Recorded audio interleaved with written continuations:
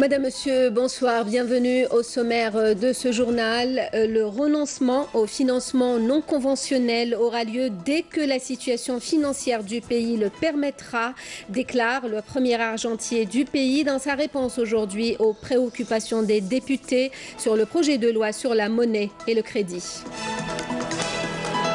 La finance algéro-européenne de participation et les fonds d'investissement des wilayas, l'exemple ce soir avec des PME de la zone industrielle de Sétif. Belle ambiance sur l'esplanade de Riyad El avec toutes les animations organisées dans le cadre du FIBDA. À suivre un reportage dans ce journal. Dans ce journal aussi, les conteurs africains à l'honneur à l'Opéra d'Alger, tout un patrimoine pour célébrer la sagesse et la tradition de l'oralité euh, africaine. À l'Assemblée populaire nationale et répondant aux préoccupations des députés sur le projet de loi sur la monnaie et le crédit, le ministre des Finances a indiqué que les prévisions annoncent un taux d'inflation de l'ordre de 5,5% en 2018, soit le même taux attendu à la fin 2017. Plus de détails avec Adel Boukhams. Dans ses réponses aux interrogations des députés, le ministre des Finances Abdelrahman Raouia a indiqué que le gouvernement renoncera au financement non conventionnel dès que la situation financière du pays le permettra. Le ministre des Finances a indiqué en outre que la loi sur la monnaie et le crédit intervient dans une conjoncture exceptionnelle, marquée notamment par une forte pression sur la trésorerie de l'État ainsi que sur les grands axes de l'économie nationale. Le projet de loi vise à autoriser la Banque d'Algérie à acquérir les titres émis par le Trésor public afin de couvrir les besoins de financement du Trésor et du Fonds national d'investissement et payer par là même la dette publique. En outre, cette mesure permettra d'honorer les dettes bancaires de la Sonelgaz et de la Sonatrach. Abdelrahman Raouia a indiqué également que le recours au financement non conventionnel permet au gouvernement d'assurer de nouvelles sources de financement qui lui permettront de poursuivre la réalisation des différents projets de développement. Le premier argentier du pays a rappelé que le recours au financement conventionnel sera limité dans le temps et ne dépassera pas les 5 ans. Le ministre des Finances Abdelrahman Raouia a affirmé que le taux d'inflation connaîtra selon les prévisions du ministère une tendance baissière jusqu'à 2020, assurant que le gouvernement suit avec intérêt ce phénomène et tend à maîtriser tous les facteurs responsables. L'impact du financement non conventionnel sur l'inflation est un souci permanent pour l'État, qui tend à écarter tous les facteurs pouvant entraîner cette situation, et c'est pour cette raison que l'on prévoit une baisse de taux d'inflation dans les années à venir, a souligné le ministre, ajoutant que le recours au financement non conventionnel se fera après l'épuisement de toutes les ressources financières disponibles.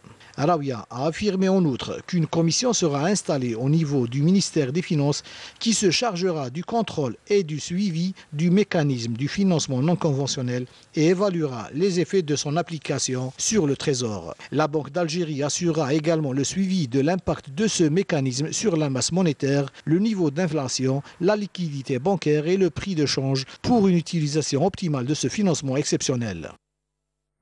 Le bureau de l'Assemblée populaire nationale s'est réuni aujourd'hui sous la présidence de Saïd Bouhadja, une réunion consacrée à l'étude de, sept amendements proposés lors de la présentation de la loi sur la monnaie et le crédit. Six de ces sept amendements répondant aux conditions réglementaires ont été confiés à la commission spécialisée pour être étudiés en coordination avec euh, les délégués chargés des amendements. Économie, nous allons nous intéresser à la finance algéro-européenne de participation et les fonds d'investissement des wilayas, euh, des fonds chargés de booster l'économie locale à travers les PME. Illustration assétif dans ce reportage de Wassila Bouchareb sur un commentaire de Naïm Chekchek. Finalep c'est le Fonds algéro-européen pour le capital d'investissement. Un fonds constitué de trois partenaires, la BDL, le CPA et l'Agence française pour le développement. Son rôle, la gestion des caisses d'investissement wilayal au niveau de 10 wilayas. Nous avons signé pas moins de 20 nouveaux accords durant l'année 2016 et ceci compte parmi les réalisations que nous encourageons. La FINALEP intervient dans le financement des projets privés pour les PME. Nous intervenons de deux manières, dans le capital social de l'entreprise et ce dans le cadre de la production, c'est-à-dire en mode start-up, comme on peut intervenir dans le cadre de l'amélioration des capacités de production d'une entreprise Pour comprendre davantage le rôle de Finalep, nous voici dans la zone industrielle de Sétif.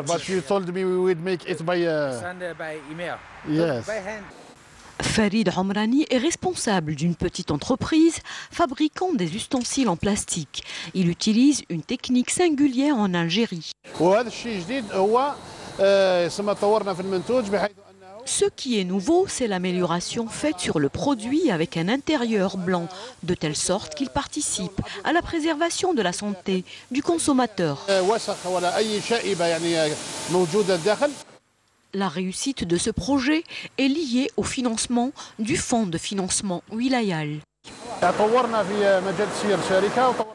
Nous avons amélioré beaucoup de choses grâce au fonctionnement de Finalep.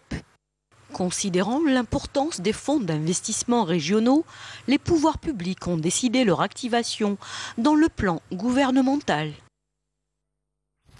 Le rendez-vous des élections locales du 23 euh, novembre approche. Le président de la haute instance indépendante de surveillance des élections, Abdelwahab Derbel, était hier à Taraf pour superviser les préparations euh, du prochain scrutin.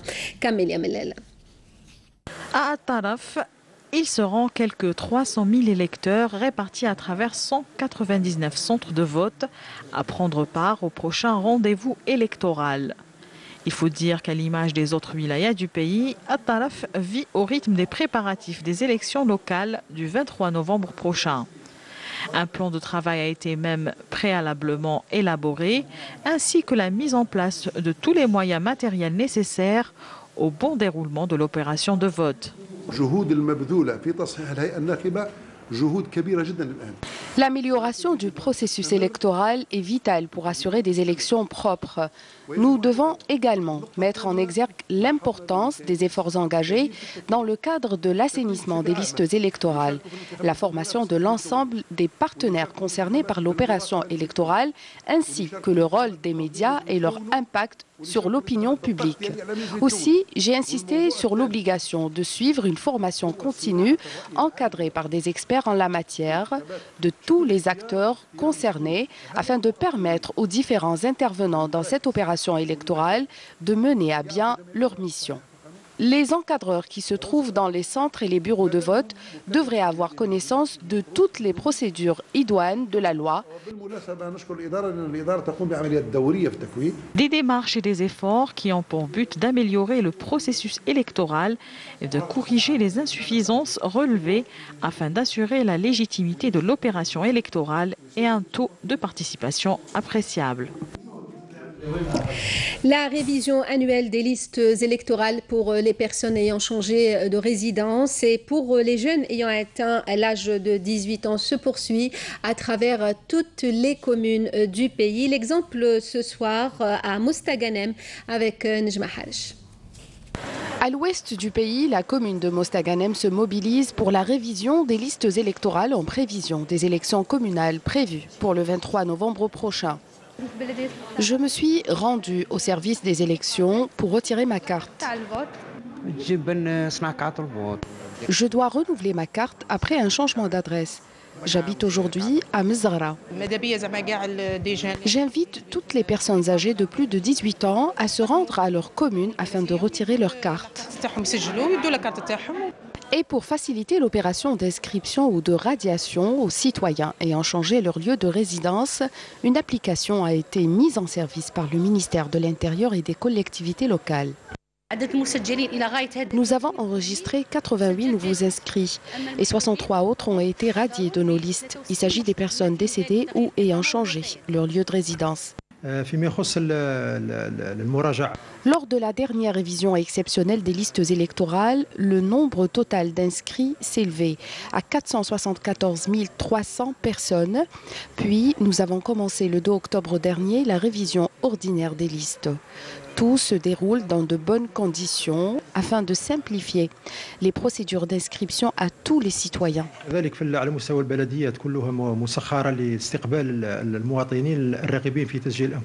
Outre les centres de vote déjà disponibles, la wilaya de Mostaganem prévoit l'ouverture de cinq autres centres supplémentaires afin de faciliter l'opération électorale à tous les citoyens et leur permettre d'accomplir dans de bonnes conditions leur devoir électoral.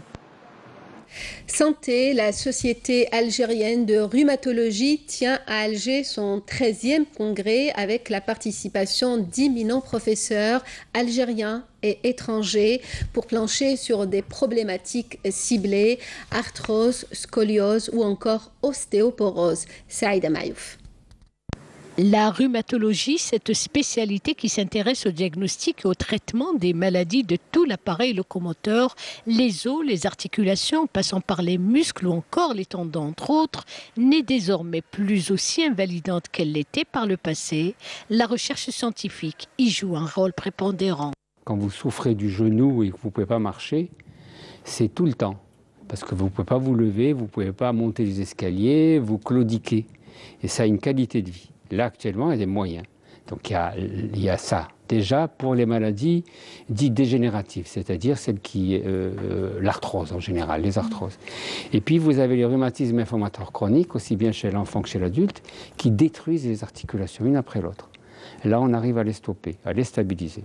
Nous citons l'arthrose et on sait que donc il y a des études statistiques qui ont été faites dans ce sens et qui avaient montré que nous avons 23% d'arthrose des genoux chez les femmes âgées de 50 ans et plus et nous avons 26% de, de, femmes qui sont atteintes d'arthrose des, des, mains. Donc ça fait un chiffre qui est donc quand même assez conséquent. Donc ça permet de dire que quand même c'est une pathologie où il, faudrait la prendre en charge sérieusement. D'imminents professeurs en rhumatologie internationaux font part de leur expérience en la matière, et ce pour une meilleure prise en charge des patients. Euh, un équilibre alimentaire aussi pour la personne euh, adulte pour essayer de minimiser la perte osseuse qui a lieu chez tout le monde. D'accord?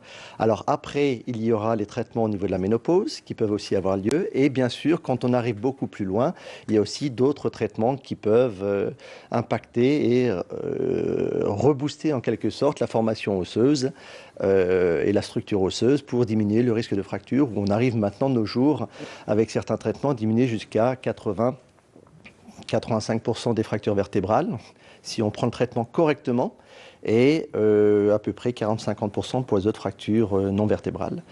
Le diagnostic clinique et radiologique de la scoliose ou encore les pathologies dégénératives autant de thèmes pointus, entre autres problématiques, qui seront décortiqués trois jours durant au 13e congrès de la Société algérienne de rhumatologie. Histoire, euh, il y a 44 ans, 3000 soldats algériens sont partis prêter main forte aux armées égyptiennes et syriennes qui avaient lancé une offensive contre des positions israéliennes pour reprendre des territoires arabes occupés six ans plus, par Israël six ans plus tôt. L'engagement de l'Algérie a été effectif et marquant. Évocation ce soir avec Mohamed Sherif Cholfi.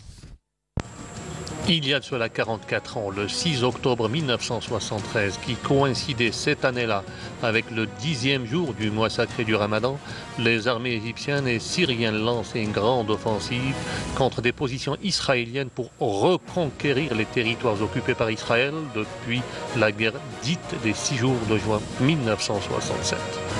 Cette offensive consistait à libérer la péninsule du Sinaï, la bande de Gaza, la Cisjordanie et le plateau du Golan.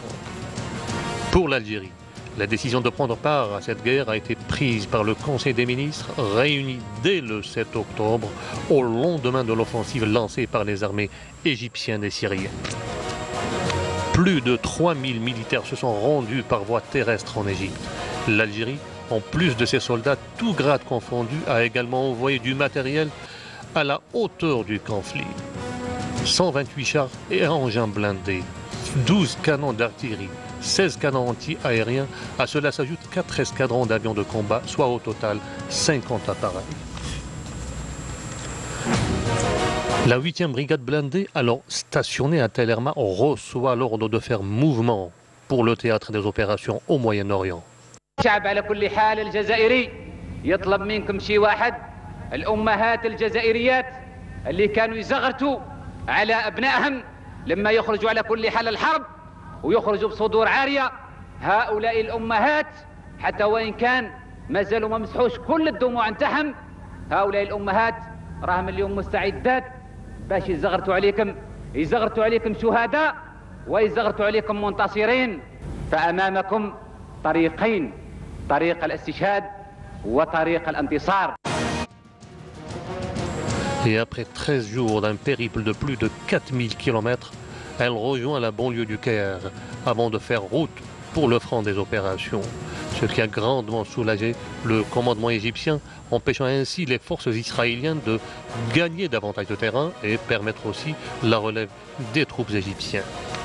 Dès leur arrivée sur les lieux de guerre, les forces algériennes ont aussitôt engagé la confrontation directe avec l'ennemi israélien.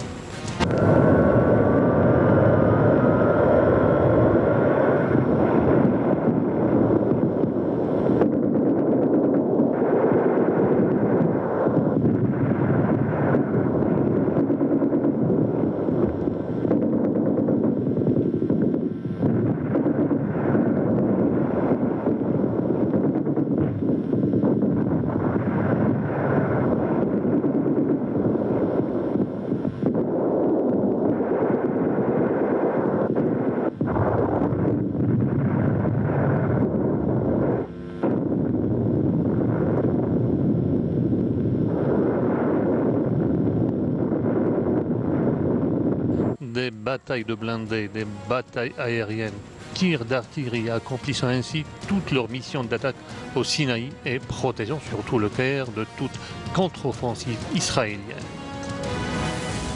Les hauts faits d'armes de l'armée algérienne durant ce conflit sont enfin reconnus après de longues années de silence par le grand journal égyptien Al-Ahram qui met en avant l'intense participation de l'armée algérienne dans la guerre contre Israël en 1967, 68 et surtout en 1973 et son apport incontestable sur le plan humain et matériel.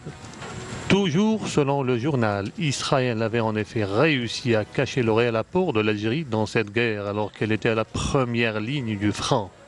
Rappelons au passage le récit dans les mémoires de l'ancien patron et chef d'état-major de l'armée israélienne David Al-Azhar sur la déroute et l'effondrement de son armée face à l'armée algérienne lors de la fameuse opération du port d'El Abadia qui a coûté 900 soldats parmi les meilleurs de l'armée israélienne et 172 chars totalement détruits. Ainsi, après une présence de plus de deux ans sur le théâtre des opérations, les forces algériennes engagées dans ce conflit ne rentrèrent au pays qu'en juin 1975. Et vous pourrez suivre ce soir, juste après le journal de 20h, la première partie de l'émission Nasr Awish Shahada, une émission consacrée à la guerre d'octobre 1973. La deuxième et troisième partie vous seront présentées demain et après-demain à la même heure. Lutte antiterroriste et grâce à l'exploitation efficiente de renseignements, un détachement de l'armée nationale populaire a appréhendé hier trois éléments de soutien au groupe terroriste à Skikda. C'est ce qu'annonce ce vendredi le ministère de la Défense nationale. Par ailleurs, euh, des détachements de l'ANP ont arrêté six narcotrafiquants et saisi 210 euh, kg de kif traité à Rerdaya et à Tlemcen, tandis qu'un autre détachement a arrêté quatre contrebandiers à Bourges Béji-Mortar. D'autres détachements de l'armée nationale populaire et les éléments de la gendarmerie ont saisi également euh, plus de 32 100 litres de carburant, 6 tonnes euh, de denrées alimentaires à Bourges, Béji-Mortar, Gherdaya, Soukharas, Tebessa et Ataraf, en plus de la saisie euh, de 1720 comprimés psychotropes à Alger, Schlef, Tipaza, Djelfa, Boumerdes, ajoute encore la même source. Sahara occidental, les Nations Unies doivent mettre fin au blocage du processus de paix en organisant un référendum d'autodétermination du peuple sahraoui. C'est ce qu'ont indiqué des pétitionnaires à la quatrième commission de décolonisation de l'ONU, soulignant qu'il était temps pour l'organisation onusienne de se libérer des intérêts égoïstes de quelques pays. Je vous l'annonçais en titre, le FIBDA en ce moment à Alger, le Festival international de la bande dessinée qui a 10 ans cette année. Le programme est très riche entre expositions, tables rondes, concours et autres ateliers. Le FIBDA est désormais un rendez-vous incontournable de la vie culturelle. Nejma Harish revient de Riyad El Feth où elle a rencontré des passionnés de personnages de manga, de jeunes talents, mais aussi de célèbres bédéistes dont les personnages n'ont pris aucune ride. Après plusieurs années d'absence, Mekidesh se fait peau neuve. Il revient sur scène avec une nouvelle version intitulée El Bendir. Bien que ses aventures datent des années 60, le vieux personnage semble résister contre vents et marées. C'est un personnage qu'on a créé les années 60. À l'époque, c'était le premier journal de bande dessinée algérien. Par la suite, il a arrêté de paraître. Et grâce à Fibda, euh, disons 30 ans après ou là, j'ai repris le personnage parce qu'on a, on a voulu créer une bande dessinée nouvelle à l'occasion du FIBDA qui s'appelait Bendir. Donc j'ai repris Mkhidish qui a hiberné pendant presque 40 ans dans le terroir. En Algérie, la bande dessinée est plus qu'un moyen de communication. Aujourd'hui, elle a toute sa place dans le paysage médiatique. La bande dessinée algérienne commence, disons, à, à redorer son blason. Parce que dix ans après, quand même, euh, euh, il y a des efforts qui ont été euh, fournis, il y, a, des albums de bande dessinée, il y a, surtout, surtout la relève, c'est la nouvelle génération. Bouchra Mourtari, jeune étudiante en biologie, grande passionnée de la bande dessinée, une parfaite autodidacte. Sa réussite, elle la doit à Zozo et ses aventures. Euh, Zozo, ça parle, euh, ça parle de la vie quotidienne d'une petite chippie qui fait plein de bêtises, euh, qui est algérienne d'ailleurs. Donc je raconte un petit peu son quotidien en Algérie. Pour le dessin, je dessine depuis toute petite. Et pour la bande dessinée, ça a commencé en 2012, quand j'ai eu le prix un prix d'encouragement qui m'a encouragée. Après, l'année dernière, j'ai édité mon propre livre et j'ai eu le prix du meilleur album jeunesse pour concours international FIBDA. D'autres jeunes BDistes font aussi leur apparition. La BD, l'autre façon de s'exprimer, de se raconter, de faire connaître aussi ses talents humoristiques. Alors, ça parle des anecdotes d'une jeune étudiante algérienne. Donc, euh, ça passe par euh, les études, euh, les travaux ménagers, les réseaux sociaux, les amis, tout ce qui touche à la vie d'une jeune fille algérienne. Alors je trouve que la BD est un très bon moyen de communiquer ses idées, c'est-à-dire que c'est encore plus intéressant que l'écrit. Euh, donc ça associe l'écrit à l'image, donc c'est deux fois plus d'impact et ça parle forcément aux gens. Style humoristique et c'est surtout mes parents qui m'achetaient beaucoup de BD quand j'étais petit. Euh, je présente les trois albums. Doggy Diary, le tout premier, IT Mag, euh, une compilation de tout ce que je faisais avec un hebdomadaire IT Mag et Free un collectif que j'ai initié avec qui j'ai participé avec huit auteurs. Le FIBDA, c'est aussi des rencontres, des ateliers, des expositions, de l'animation et des déguisements. Ça représente une serveuse japonaise dans un café et ça représente la réalité au Japon. Tout, n'est pas rose en vérité. Le personnage c'est Misaki-chan du manga Keishu Momaid-sama. Magnus Bane de une série de livres en fait qui s'appelle The Mortal Instrument. C'est un sorcier. C'est euh, une série de science-fiction qui parle de chasseurs d'ombre, de vampires, de loups-garous et de sorciers. Pour son dixième anniversaire, le FIBDA nous promet plein de surprises. Les conteurs euh, africains à l'Opéra d'Alger, ces conteurs euh, qui, par la maîtrise du verbe, viennent raconter la mémoire d'un village ou d'un pays. Ils sont un peu les gardiens de la tradition orale. Jazia Bayou.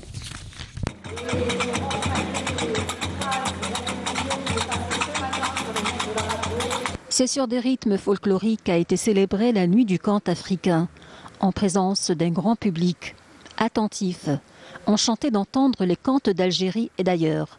Le riche patrimoine oral de l'Afrique a fait entendre sa voix.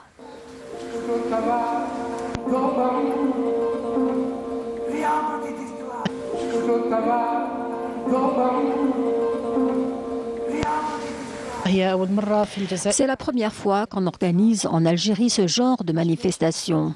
Après le PANAF en 2009, depuis presque dix ans, on n'a pas vu les conteurs africains connus sous l'appellation les griots d'Afrique. Le continent africain est riche par son patrimoine oral. C'est un patrimoine longtemps oublié et mis à l'écart. Nous nous intéressons aux comédiens, aux chanteurs, que je respecte énormément. Mais le conteur est toujours présent.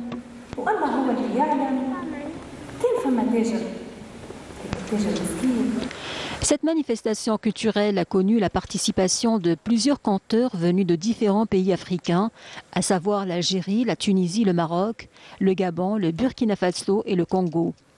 Six conteurs se succéderont sur cette scène pour nous relater les contes d'un riche patrimoine commun.